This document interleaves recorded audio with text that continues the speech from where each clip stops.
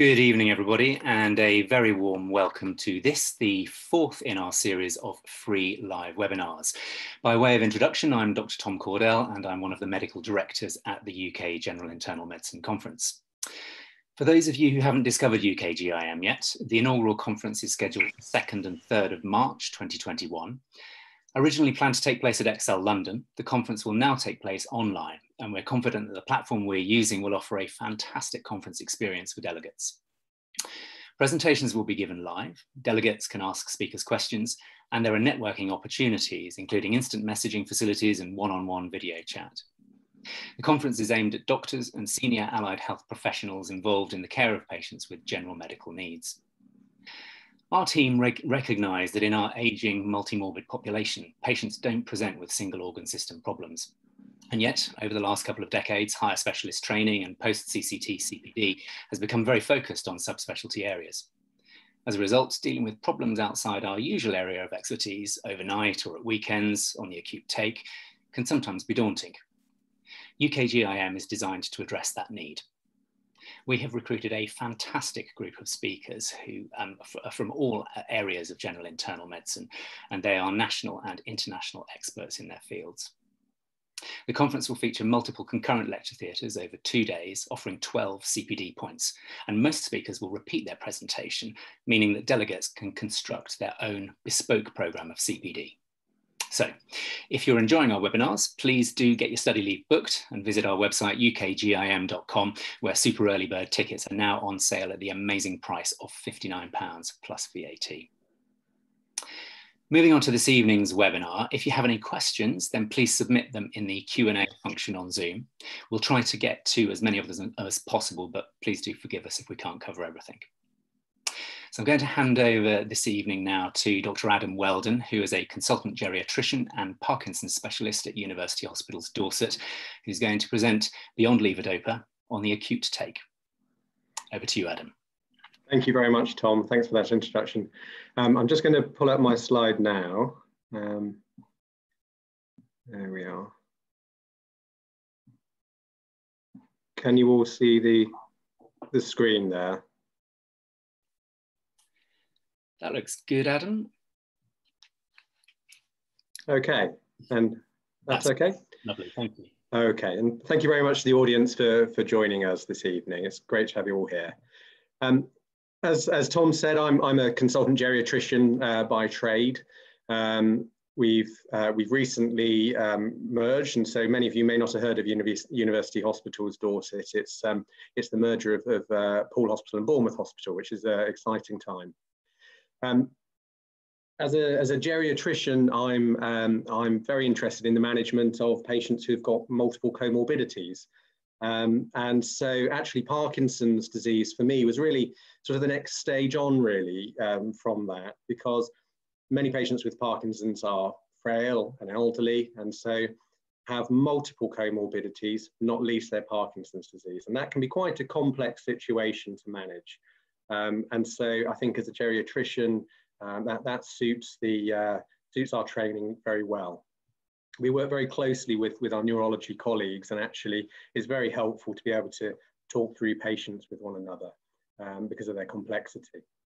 I thought tonight I'll talk um, a little bit about Parkinson's. Um, many of you all have, uh, have done PACEs and, and uh, MRCP and that sort of thing. So I'm not going to go through all of the, you know, the very basic things, but I thought I would just touch on some of those and then move on to some of the medications, talk about some of the common pitfalls in um, uh, on the acute medical take, talk about things like nil by mouth and how we can deal with that, and then move on to um, something which is quite close to my heart, which is um, to do with the management of trauma in elderly patients, particularly patients who have got Parkinson's disease. And, and I'll come on to that a little bit later in the presentation. As you know, um, Parkinson's disease is a very common neuro neurodegenerative condition. And in 2015, it was thought that over 6 million people were affected uh, by it it wouldn't be a, a, talk on Parkinson's if we didn't mention Dr. James Parkinson, who, who wrote um, an essay on the shaking palsy, um, which is a, a, very nice, uh, a nice little book uh, with some with some lovely um, some lovely pictures in it, which absolutely describes a person with Parkinson's disease, what we would what we would recognise as someone with Parkinson's disease when they when they walk into the clinic room. As you know, Parkinson's disease is, is a condition which tends to affect um, older people. Usual onset is 60 and over. The symptoms often emerge really very slowly, um, and, uh, and I think are often there for a bit more time than perhaps when we first meet people with a possible diagnosis of Parkinson's. Actually, when you delve back in the history, it's not uncommon that they've got people have mentioned features which may have been there for a couple of years really before anything clinically recognizable as the condition was, um, was, was, present. And thankfully, often the symptoms emerge gradually and, and quite slowly in a, in a some, you know, often predictable way. People, when I see them, I tend to see patients who are more elderly um, and perhaps have, have multiple other problems. And, and actually, often people will say, Oh, I'm just slowing down. It's my age, doctor. I just, everything's just a bit slower. And I think actually it is it can be masked in that way. People feeling that they've just slowed down, that this is a, a normal aging process, but the osteoarthritis in their hands is causing the stiffness and that they can't do the things that they, they were previously able to do. And so actually it's not uncommon that, that Parkinson's can be referred at you know quite a, a later stage than perhaps you would um, you would find in someone who, who was younger with the, with the condition. They don't have the same comorbidities. In terms of diagnosis, well, I'll, I'll just touch on this. The, the, the absolute cardinal feature is, is bradykinesia, so a general feeling of slowing up, all of the movement slowing down. When you examine people, you find rigidity, and in idiopathic Parkinson's, primary Parkinson's, that's usually uh, in the upper limbs. In vascular Parkinson's, you may well find bradykinesia and rigidity more marked in, in the lower limbs. Tremor, of course, is, is, a, is a feature that five to six hertz, um, uh, what they call pill rolling tremor, it's classically described as. Um, they're um, at rest, um, not there on intention, so not an intention tremor. Tremor in itself is there to a greater or lesser degree. Some people have it as the present presenting problem. Some people really don't have, have a tremor at all if you probe people directly, people will often describe freezing episodes. So a feeling as though, particularly when they're walking through the threshold of a door, walking over a change in um, in carpet texture, so perhaps going from a vinyl floor onto a, onto a carpeted floor, this feeling that they can't quite lift their feet, they can't get the feet to do what they want. And that, that's what we call freezing. And that, I find actually asking that that point specifically? Do you feel that you can't pick your feet up when you're going through your, through a threshold of a door? Really, really helpful to, to help with the diagnosis. A very common, but I think sometimes unrecognized um, problem with Parkinson's or presenting complaint with Parkinson's is, is actually muscle cramps or dystonias. And I'm going to talk a little bit about that um, on the next slide. Idiopathic Parkinson's is, is is, is asymmetrical when, when, when it's first diagnosed. It, there's always either uh, more prominent features on the left side or, or the right hand side at, at presentation. And, I, and, again, that can be a very helpful um, finding. In terms of dystonias, well, um, this, is, this is something which people will actually quite often describe, um, but perhaps has been unrecognized as, as a problem with the Parkinson's. Um, it, dystonias nearly always affect the, the side of the body which is most affected by the bradykinesia and the rigidity and, and, and, those, and that side of things.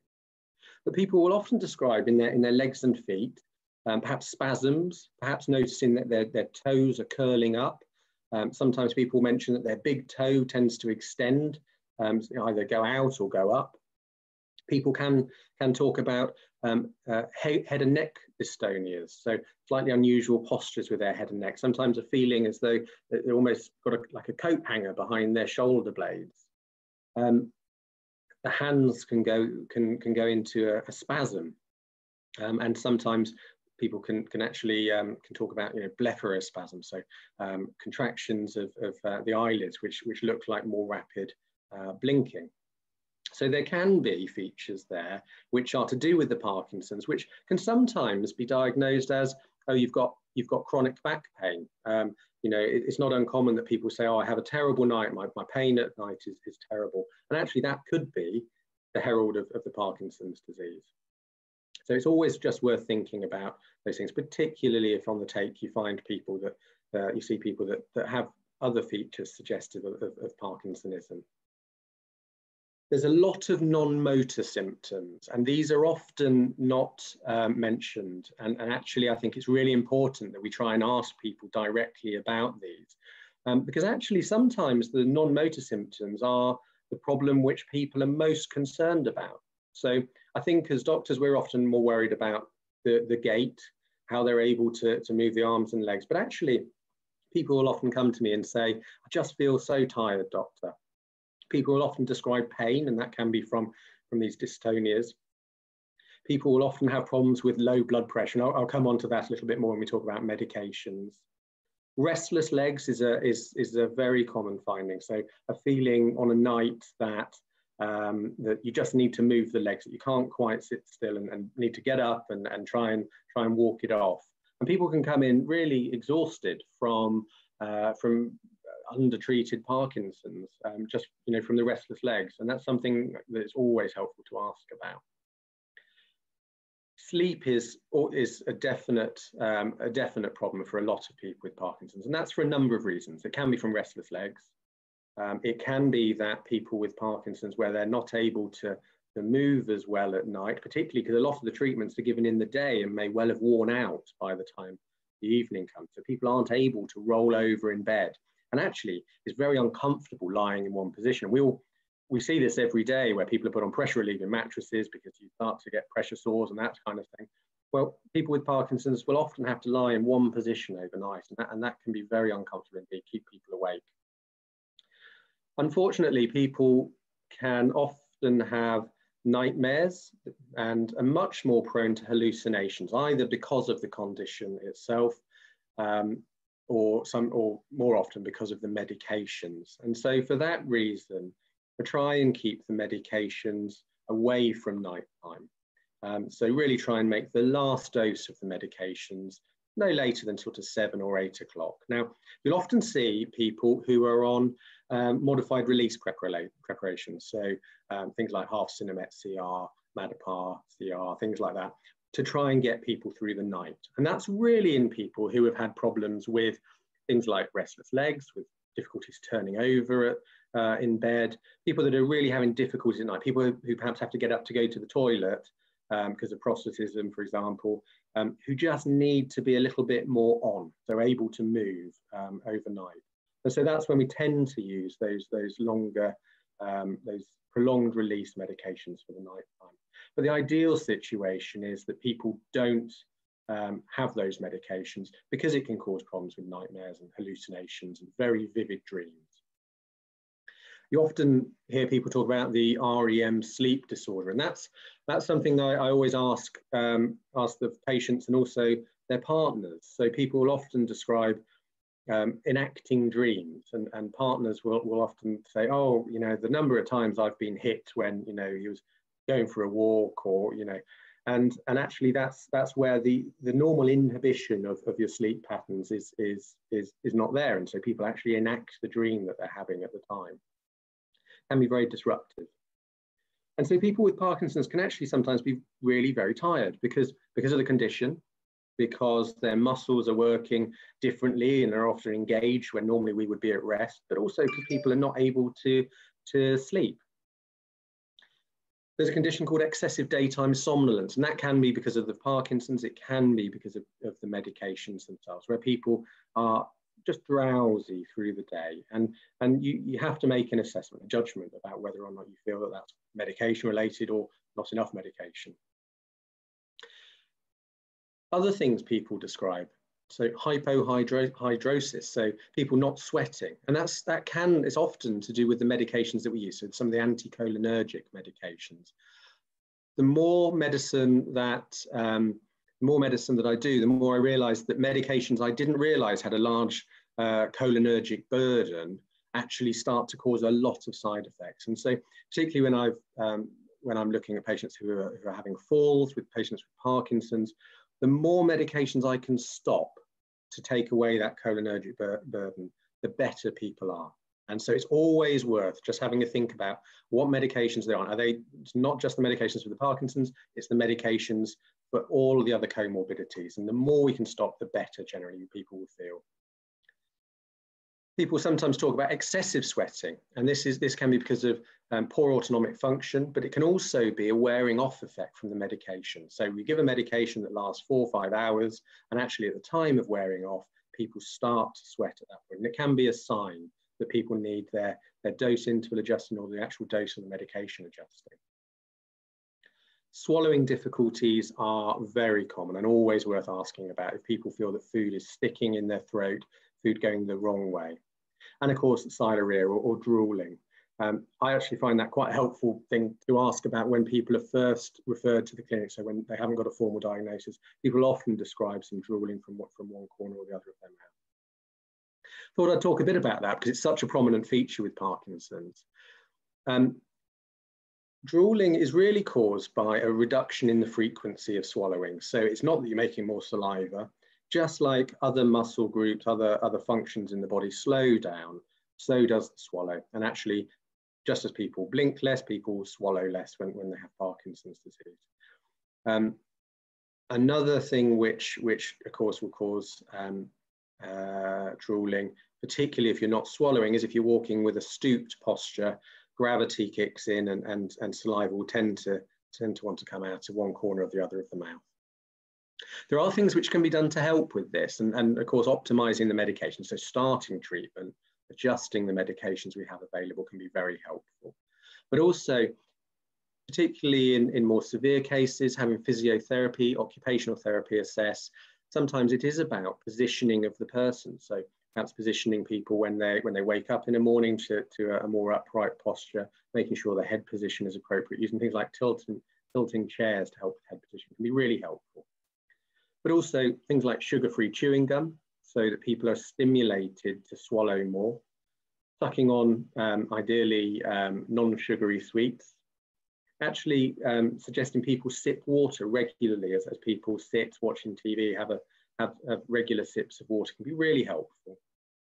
And there's also a swallowing uh, prompt app on Parkinson's UK, which which sort of sends a, a message to to sort of remind people to swallow. Um, I've I've uh, suggested that on a couple of occasions, and um, partners have always come back and said that they swallow at the same time when, when the app goes off. Um, dental health is always worth ha having a think about because people have difficulty swallowing. Um, there's often difficulty with controlling dentures. So where pe people, particularly frailer and older people, often have not perfectly fitting dentures. Um, but also when, when you have a slightly stooped posture, much more likely that the dentures will fall out and not, not as quick to be able to correct that. Of course, if you're generally a little bit slower, it's much harder to clean your teeth. And so dental health can be affected. Dry mouth is a, is a very common problem. And again, that's usually a side effect of the medication, so that, that cholinergic effect. And all of this together means that people with Parkinson's often have higher rates of tooth decay, um, and, and have, can have really quite significant problems with, with their dentition. And again, what can be helpful is um, advising frequent sips of water. Saliva is a great antibacterial and it is, you know, it's a good thing to, uh, to have there to help with the dentition. Um, again, chewing, um, excuse me, chewing uh, non, non-sugar um, gum, advising people to stop smoking, which dries the mouth, and artificial saliva can be, can be useful in terms of symptom control so people don't feel like they have a dry mouth. I'm only going to touch on memory briefly because I think um, this is a subject in its, in its own right. So um, Parkinson's related dementias, Lewy body dementia, of course, which is, which is a, uh, a condition in, in its own right, presents slightly differently. But people with Parkinson's, particularly, particularly as the condition progresses, will often have some, some memory impairment. Anxiety is a particularly prominent feature, particularly with people who have got slightly more advanced Parkinson's. So pe people with Parkinson's disease have, have lived with the condition often for some years. There are multiple medications. They're very aware of their, um, uh, their, their health. They're very aware that, um, that the condition is one which is going to progress. And of course, that promotes a huge amount of anxiety. Uh, and it's very common that, um, that people will describe um, having, having panic attacks, essentially. Depression, similarly, people who know that they have a, a chronic degenerative neurological condition um, who feel that they're losing their capabilities as the years go on. So not able to walk as far, not able to wash and dress themselves, not able to do the things they always enjoyed. Um, depression is, is a, a very common finding. And of course, hallucinations and delusions uh, are something which um, I, I, ask about at, at, every consultation. I thought I'd talk a little bit more about those because they're, they're so common. So hallucinations, as you know, is when you see or hear or feel something that's not really there. And a delusion is, is an unusual thought, so a fixed false belief. It tends to occur um, when we're talking about idiopathic or primary Parkinson's, tends to occur later on in, in, in the Parkinson's condition. So it, it's unusual that people would present with, with hallucinations. And certainly if people had hallucinations as a very early feature prior to being on medications, I would, I would be considering other diagnoses. Things like Lewy, Lewy body dementia um, would be more, would be much higher on, on my list of differentials. But hallucinations are very common in Parkinson's disease. Um, they, they often at night, they can be in the daytime. Um, very rarely do they seem to be something which causes the person concern or distress. Um, people will say, oh yes, when I look at the wallpaper, I often see a face. Um, but they know, they know that that's not real. People will very commonly describe seeing cats or dogs in the room with them or walking out from behind a curtain occasionally hearing children playing, that, that sort of thing, but not things which are frightening to them very often. People very quickly learn to adapt. Um, it's, it can be because of the Parkinson's, the underlying condition, but is also often driven by the medications. And so particularly if we're thinking about a vascular like Parkinson's, so that's a, a movement disorder perhaps related to loss of small vessel ischemia, um, often with uh, vascular dementia. I think they have to be very cautious about the introduction of medications and how we titrate the medications because actually there's two problems. One is one is the, the dementia itself, and the other is the, the movement disorder which which which, um, which is associated with that. The medications are often not as effective, and so you really don't want to be introducing significant problems with things like hallucinations, actually driving the hallucinations by giving big doses of medications. But again, that's, that's, another, um, that's another topic. So in terms of some of my top tips for helping with the diagnosis of, of, of um, Parkinson's, as I mentioned, try, try not to think it's just natural that people are slowing up. And I think if people are describing that they feel slower, to me, I start to think, well, perhaps this could be an underlying Parkinson's condition. Asking about a sense of smell is really helpful. Um, people will often lose their sense of smell, some years predating the, the motor symptoms. Freezing episodes, very useful to know about. Ask about constipation. People are often constipated with Parkinson's disease. People often have small handwriting or micrographia. Drooling is a feature, and falls. And I'm going to talk a bit about more uh, falls um, shortly. I thought I'd talk in general about some of the medications and some of the pitfalls we can have with, with the medication. So um, dopamine agonists are one of the big groups of medications that we use. Um, and I thought I would just write a few of these, few of the brand names that are very common. So pramipexole has got many brand names. So Mirapexin, Mirapexin prolonged release, Pexus, Glepark, lots of names. And so it's very easy, if you're not used to using these medications regularly, to become a little bit muddled about what the actual medication is. And I would encourage you to spend quite a bit of time when someone comes in on, on the medical on call, just being sure that you have the preparation right and that you know the timings of the medication. It's very, very easy to, to, to prescribe that incorrectly. Ropinirole is another, another dopamine agonist that's very common. Um, and uh, and rotigotine, I'm sure sure you will use for people that are nil by mouth, uh, so uh, probe um, skin patches, and apomorphine. So so apomorphine is a, a non-selective dopamine agonist. Um, it, it, works on D1 and D2 receptors. Works very quickly, so it's given as a subcutaneous injection. Um, starts to work within five to 10 minutes, so much quicker than, than the traditional treatments. And can be used when there's sudden fluctuations with dyskinesias, if people have got sudden off periods, they can people can use that to try and bridge the gap of the off periods. So that's something that, that you may well see, see on the medical on-call. Can be given as just individual injections. can often be given as, as, a, as a continuous infusion pump. With the dopamine agonist, there, there's a lot of side effects often, particularly in the frailer and older people. So people can present with drowsiness. Um, people will often can fall asleep just, just um, at the drop of a hat.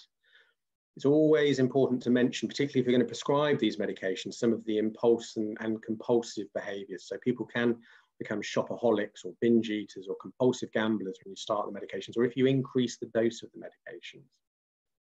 I think the main thing that I see, there's really two complications that I often see. One is that the, the dopamine agonists are beginning to drive hallucinations and delusions.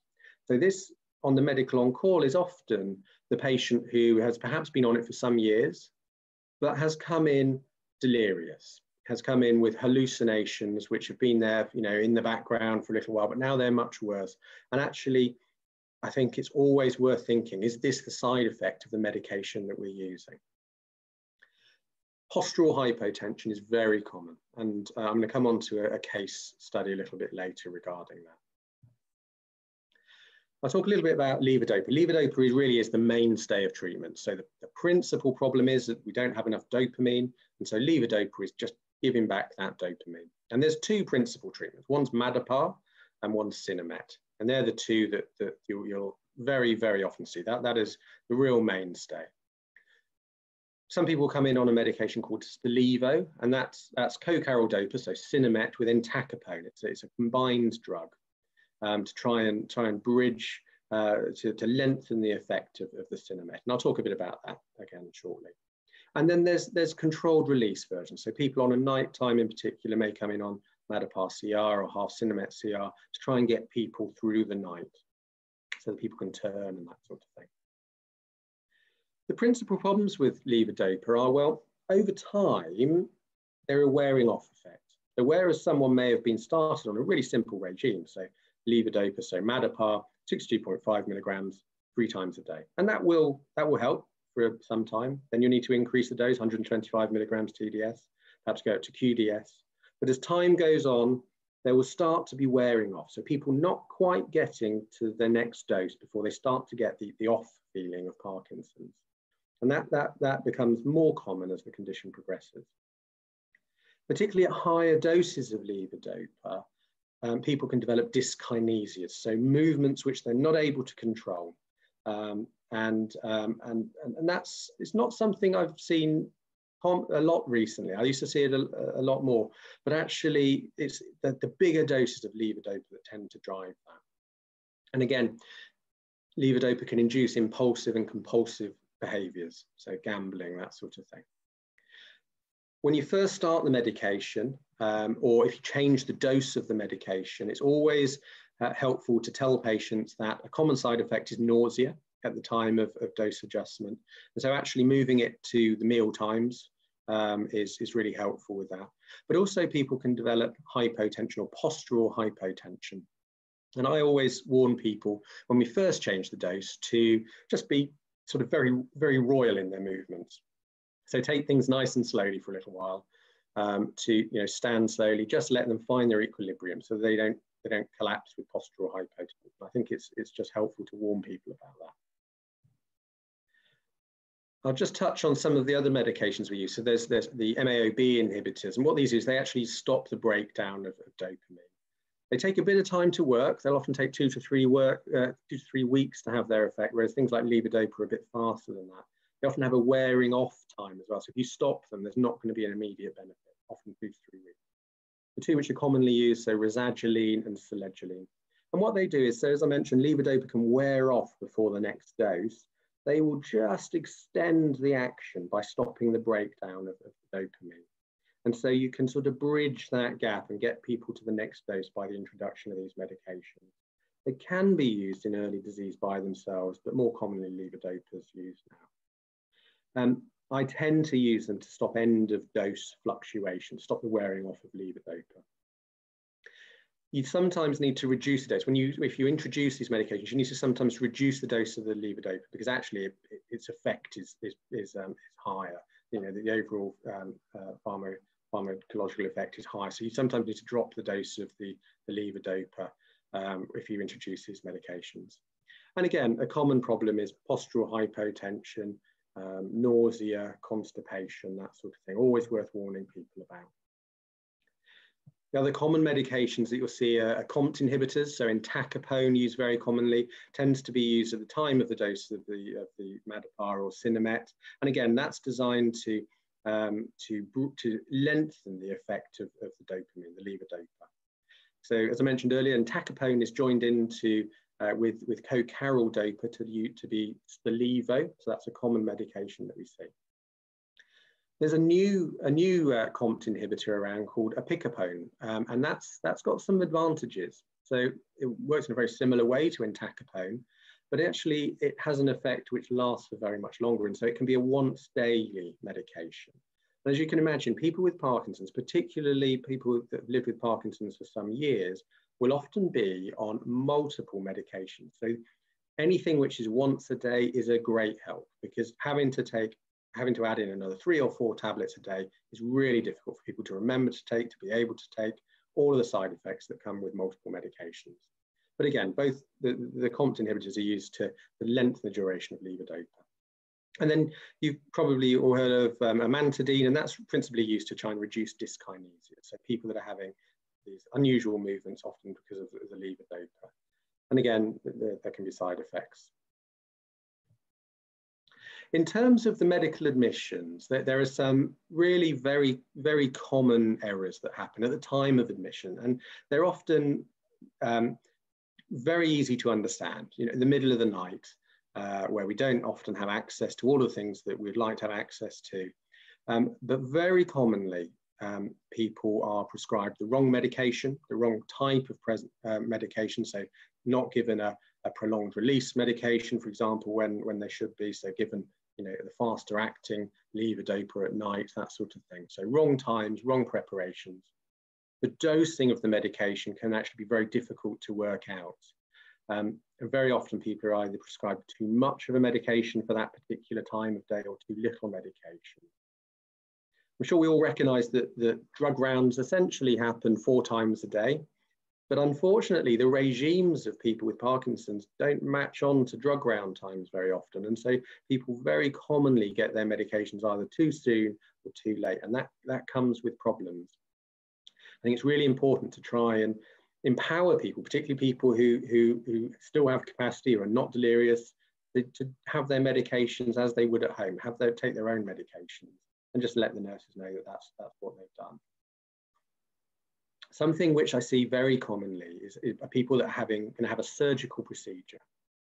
Um, I would suggest that people who are made nil by mouth for a surgical procedure should still take their Parkinson's medications.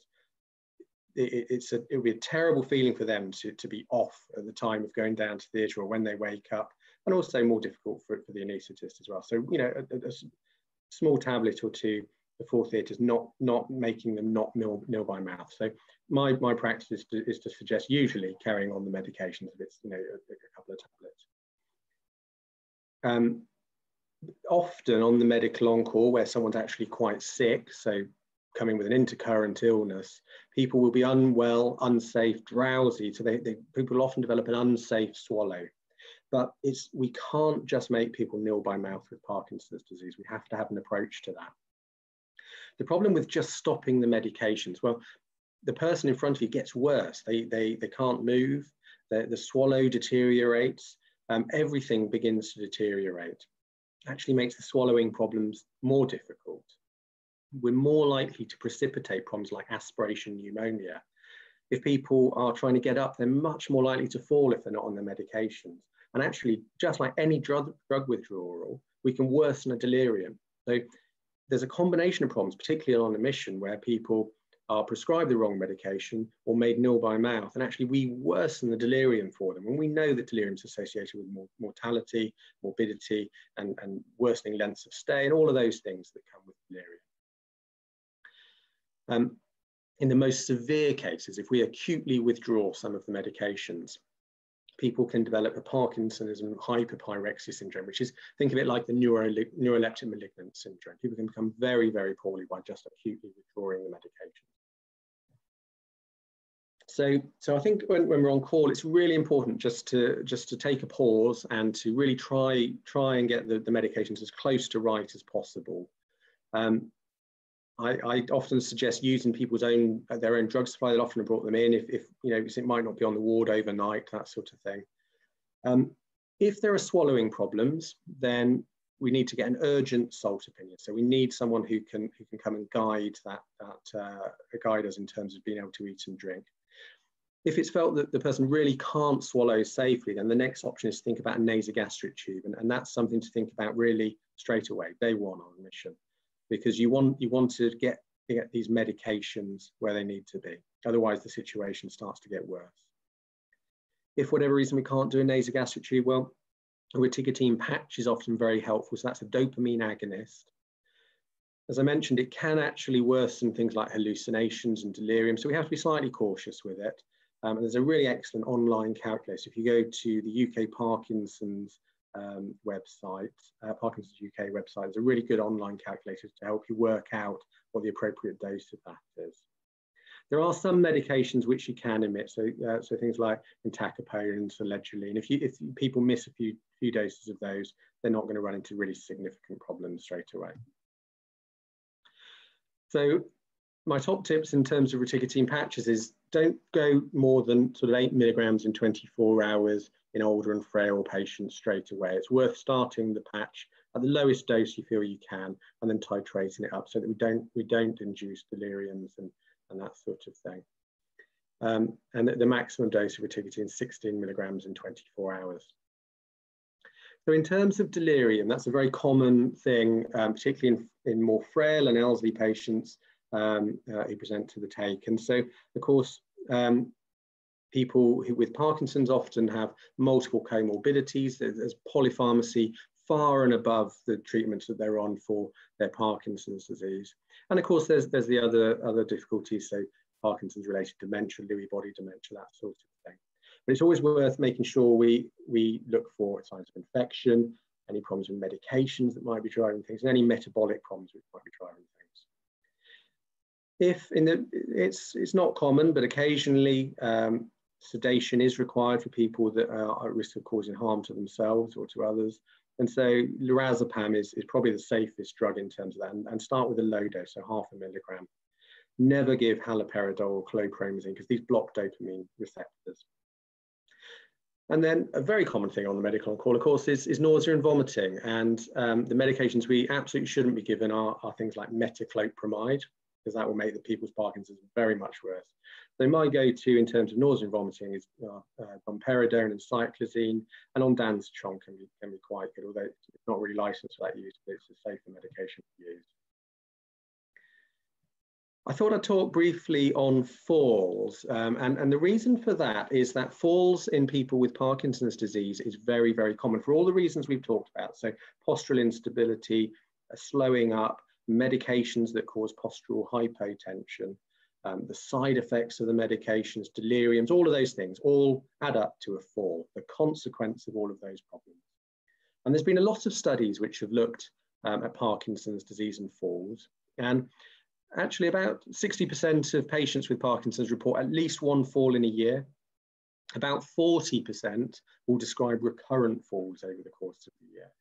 And so I think it's actually quite helpful to, if someone presents to a medical on-call and they have Parkinson's, just to think about the falls risk. So make sure people, particularly people with delirium, are managed in a bed space where they're, they're more visible, where the nurses are closer by and the doctors are closer by, if needs be, to, to, to just make sure people don't fall on the ward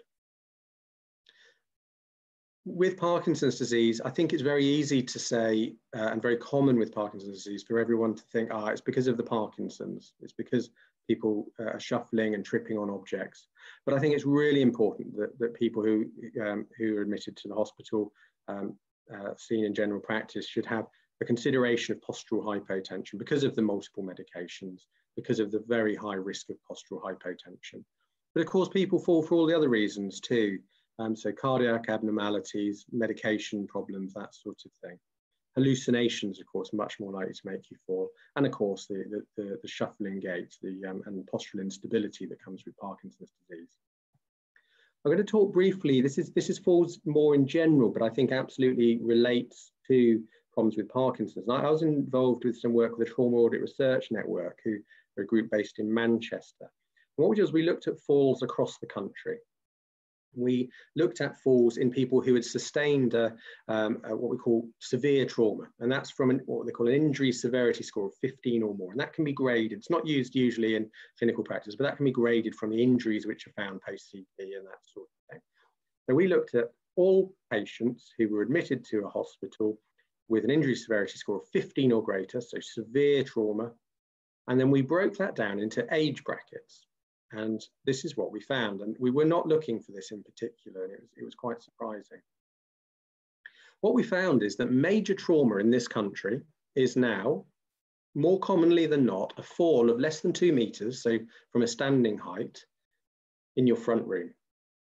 And that's major trauma. When you're younger, so less than 60, major trauma is all those things that we would normally expect. So car accidents, falling from rooftops, that sort of thing we looked at across the age brackets where were patients presenting with major trauma. And what it shows is that if you're younger, you're much more likely to suffer major trauma um, when you're outside. And when you're older, much more likely to suffer major trauma when, on the, when you fall in your front room, essentially. So if you're older than 90, then an indoor accident, a fall from a standing height, um, is what's causing the major trauma we had a look at the, the types of mechanisms that were causing um, death from major trauma. And as you can see, the bottom, the bottom line here, um, my cursor's working, um, as you get older, much more likely to have major trauma from a fall of less than two meters. When a, great, a fall greater than, uh, greater than two meters, more common in this sort of age bracket.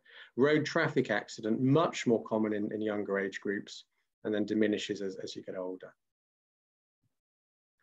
We looked at what were the injuries that were causing the major trauma. And actually, of the people who died in, in across the country, it was head injury. Head trauma was, was the principal um, problem. But each of these lines describes a different age bracket. And I think you'd agree that actually the trauma pattern is very similar across the different age brackets. So head injury, thoracic injury, major cause of, of, um, of, of death, abdominal injury and spinal injury. And that was similar across all of the ages. So people were falling in their front rooms and having the same injury pattern um, uh, as people who were less than 60 having what we traditionally call major trauma. The problem is that the way that we recognize it, the way we manage that is very different. And this graph shows that um, if you're younger, you're much more likely to have what we call a triage positive major trauma. So that's all the things we, we see on TV. So red phones ringing, HEMS helicopters landing, ambulances arriving, consultants all, um, all running down to the resus room to, to, to go and save the patient. As the years progress, you're much less likely to trigger a, um, a, a trauma call. Again, as you get older, you're much less likely to be managed by a senior clinician. So much more likely to see a consultant if you're less than 16 or if you're, if you're up to about 60, and then it begins to, to, to tail off. So what we found is that major trauma in this country in people who are older than 60 is falling over uh, at home at a standing height, and you have the same injuries as people that have had traditionally what we consider to be major trauma, but actually the response is very different. And that translates to how we investigate people. So the time to CT scan gradually lengthens as, as you get older. We actually found across the group we looked at the time to CT was about one and a half hours longer in older patients, but actually there, there were significant outliers around that. And I think that's for a number of reasons. I think it's because it's often harder to assess people. So people presenting with dementia and that sort of thing will present differently to people who are younger and, and, and, uh, and uh, cognitively um, lucid. I think the brain has probably got a little bit more space to accommodate often um, if there's been bleeding, so people don't show the same signs until perhaps slightly later. We've already seen that more likely to be seen by a more, more junior member of staff at the initial presentation. And also, I think that this shows that there's quite poor recognition of what amounts to major trauma in older patients. And that really translates to saying that We know that people with Parkinson's disease are more likely to fall and they're likely to be older. And so we're not recognizing major trauma in these people. Again, you're less likely once major trauma is recognized to be transferred to somewhere um, to have, for example, burr hole surgery and, and, that sort of thing as, as you get older. And we looked at whether this was, this was because of comorbidities, and actually it didn't look as though it necessarily was, but there's more work to be done on that. Um, similarly, more likely to, to have a, a senior uh, a senior person, a consultant operate on you if, if you're younger than, than, uh, than, than if you're older. So I hope, I hope that data suggests to you, as it does to me, that, that actually people who fall in their front rooms are suffering major trauma when they're elderly from a standing height. And actually, we need to be managing people as though they've had a significant injury when, when they present to the medical on-call. The other things that we, we should think about, of course, are all the other reasons. Um, so we talked a bit about Parkinson's being an independent risk factor for falls, but of course it doesn't um, it doesn't stop the other problems. But you're more likely to have orthostatic hypotension because of the autonomic dysfunction, because of the medications, perhaps more likely to have cognitive impairment. Um, there's there's all of the other reasons that, that, that other that people who don't have Parkinson's fall have as well. So sarcopenia um, uh, as you get older, home hazards, polypharmacy from other conditions aside from the Parkinson's. I think the key points really from here um, are that um, I think typical trauma in this country has changed. I think we all need to be very much more aware of the person who's just fallen in their front room, just a fall doctor. I don't think we can see it as just a fall anymore. I think people actually have the same injury pattern as, as, um, as younger people in, in what we, what we recognize as major trauma. There are things which can be done with people with Parkinson's in particular. So freezing um, is can be it can be very helpful for people to have physiotherapy and think about what we call cueing. So giving people techniques to work around freezing episodes. Of course, environmental adaptation, so meeting with an occupational therapist can be really helpful. And of course, optimizing medications. Um, trying to help with things like dyskinesias as well can, can help to reduce the risk of falls. There's, there's evidence that things like Tai Chi can be very helpful. Um, giving people strategies for helping them to turn safely very helpful. And of course, I think it's always important just in the back of your mind to think about people's osteoporotic risk. We know people are more likely to fall. We know that major trauma is likely to ensue. And so if we can keep the bones stronger, then, um, then hopefully there'll be fewer fractures if we consider that early on. I'm just going to finally, uh, in the interest of time, I'm just going to move on to this case report. And this is a fairly common uh, presentation that I, I would uh, be asked to see on the medical uh, tape. So this is an 86 year old lady who has some a background of mild cognitive impairment, supported at home by family. Um, had a recent history of recurrent falls. So fallen a few times over the past few years, but over the last few months has fallen very much more frequently. Um, started to describe some postural symptoms. So when first stood up, felt a little bit lightheaded, tended to start walking, would often have to hold on to something. And was diagnosed with Parkinson's disease some 12 years earlier, so quite, quite, quite a long time ago in, in, in terms of Parkinson's disease. And the medication had been gradually adjusted over the years by various uh, people uh, in the Parkinson's service to try and keep the bradykinesias at bay, to try and keep the person as on as possible. However, the person that we were treating had actually changed over that time. Um, so had now become largely housebound, tended to walk around the house with a frame, um, was um, uh, not able to get out and about as, as they used to do, a bit more muscle wasting or sarcopenia, and had a couple of other uh, medical problems along the way, which, which had made them a bit breathless when mobilizing. So the person over the years had, had changed from, from what was being managed perhaps four or five years ago in terms of the Parkinson's disease. The, the patient actually moved areas and, and came un, under, under the service. Um, uh, and I noted in the past history that they've been treated for ischemic heart disease and also some urinary incontinence. Um, I asked directly about hallucinations, and actually, this is something you do often have to ask directly because people will say, "Oh no, everything's fine." But if you give people a couple of examples and say, "Oh yeah, of course I, I do," I do sometimes see a, a, cat sitting in the corner of the room. I, I don't have a cat. Um, and talking with some of the family, they felt that the, the person had become a little bit more disorientated, still able to have a normal conversation, but a bit more disorientated over the past few years. When I examined the patient, she had some um, right-sided bradykinesia, um, some mild rigidity in both upper limbs. I thought mobilized quite well with the frame. It was a bit unsteady when they first stood up. And actually I found a postural drop of 50 millimeters of mercury, so pretty significant. Good reason to fall over. Looking at the medications, well, they're on Madopar 125 milligrams five times a day, so that's a pretty reasonable dose. Rasagiline, two milligrams to try and extend the, the duration of the levodopa. They sometimes took a Madopar dispersible, 62.5 at six o'clock in the morning, just to give them a, bit of a boost. They're on some ropinirole, um, six milligrams, so a dopamine agonist. Uh, amitriptyline, 25, big cholinergic burden. Oxybutynin to help with their bladder dysfunction. Some clopidogrel can cause postural hypotension, and some bisoprolol. So quite on quite a lot of medications, actually. A few of those could well be driving the hallucinations.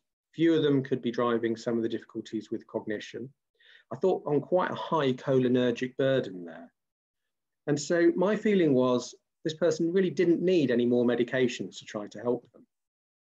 And so I spent a bit of time talking with them. And, and actually, I think over the years, many more and more medications have been advised. And the idea of reducing medications wasn't something that had really been, been talked about very much. But we agreed that what we'd do is we'd, we'd reduce the amitriptyline um, and actually use things like paracetamol, just simple pain, pain relief. It was, it was there for some lumbar back pain.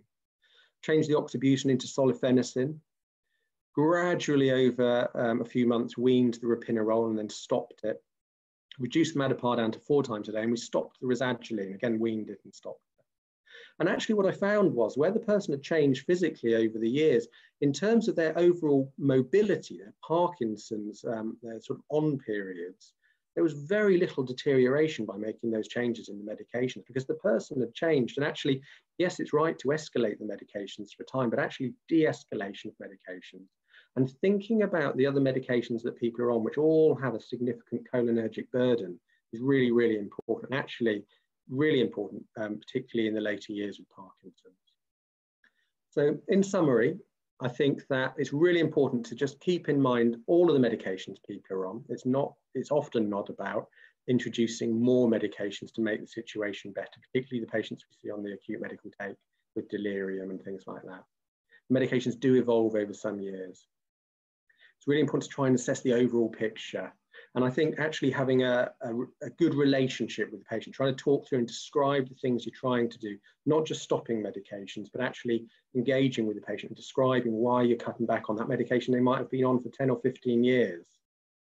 And I think it's really important to always think about other aspects of, of, of, um, of conditions like Parkinson's, things like falls and, and osteoporosis. So that was a, a whistle-stop tour of, uh, I think, some of the complexities of multi, multi-morbidity and, and Parkinson's disease. And uh, uh, I'd like to ask if there's any questions. Well, thank you, Adam. That was um, that was absolutely fascinating, and I really enjoyed it. We've had quite a few questions. Um, I'd like to get through as many of them as possible because I want to know the answers to quite a few of them. Um, th there's a couple that are on the theme of, of diagnosis of, of Parkinson's disease, um, which, um, which I can completely understand. Um, one of the questions is, um, about the, the diagnostic criteria you use for Parkinson's um, and whether you, you, use the UK Brain Bank criteria um, or whether you use one of the later diagnostic criteria and what you think of those. Yeah, I think I think the key really is to um, so there's several criteria, as you say. The I think the absolute key is that bradykinesia has to be there, and I, I try and always keep that in mind. Yeah. I think it's difficult to diagnose someone sitting in front of you with some of the other features of, of Parkinson's that, that we touched on without having bradykinesia. And so that, that's an absolute core. Um, and so and so there are multiple ways, so ICD-10 rules, that sort of thing. But but I think bradykinesia, and if you examine the person, they have rigidity and a, and a, and a reasonable history, then then I think that, that that's what you need to go on. It's the person sitting in front of you. Okay. And um, just moving on uh, on on the question of, of, of diagnosis, one of uh, our questions was, um, and I appreciate this is a slightly tricky one. Um, but do you have a reliable way to diagnose Lewy body disease in an elderly patient with hallucinations? Yeah, um, and that, that is, it's a lot of that is about the history. So people will present with hallucinations. Um, the, the key to that really is, is in the history in terms of when did the Parkinsonian features uh, start and when did the, the memory difficulties start. So if, if the memory problems are later in the condition, so uh, they have, they have Parkin, Parkinson's features for over a year is, is, is, is how it's described, and then the memory problems start, well, that's less likely to be a Lewy body type picture. That's more likely to be a, a Parkinson's related dementia. For me, if, if there are hallucinations early on, the memory features are much more to the fore and fluctuations in people's capabilities. So, um, so some days much better than others. Some days hallucinating, almost like a delirium, and then other days much more lucid, much more likely to be a Lewy body type dementia. Certainly my experience with Lewy body dementia is that actually the Parkinsonian features are not the principal problem. They're often the thing which are referred so someone's noticed that they've slowed down. But when you talk to the person, they, they will often have significant cognitive problems and hallucinations as an early feature. So it's all in the history, really.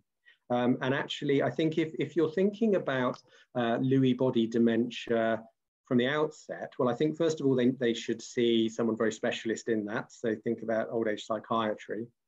It's about engaging the appropriate support and services around people because it's a condition which is much more aggressive, much more likely to, um, to, to progress and cause significant behavioral problems and hallucinations and all of those things.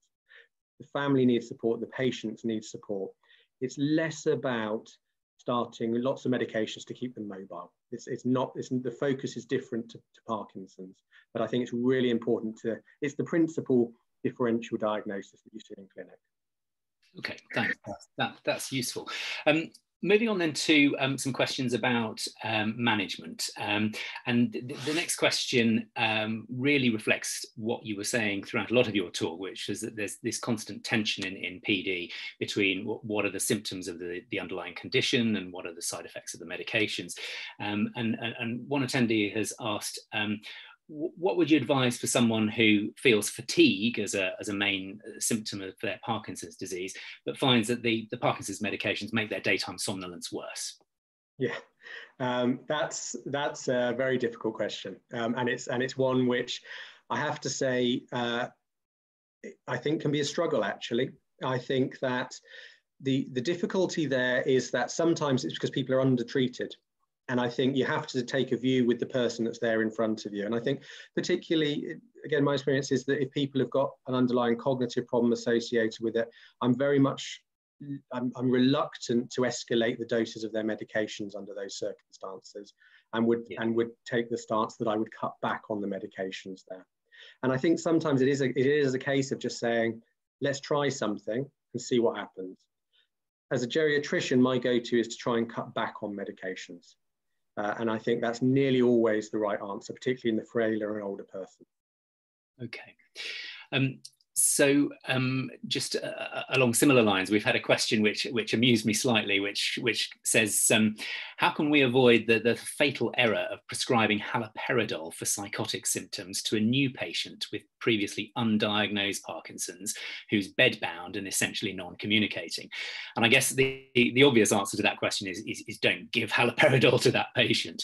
Um, but I just thought as a geriatrician, you might like to expand a little bit on the use of antipsychotics in the elderly. Yeah, so um, I, I, think, uh, of course, I think if, if things are undiagnosed, then people, pe sorry, I've just knocked the thing. People won't know to not give the medications. I think, I think that said, I very rarely prescribe antipsychotic, antipsychotic medications now.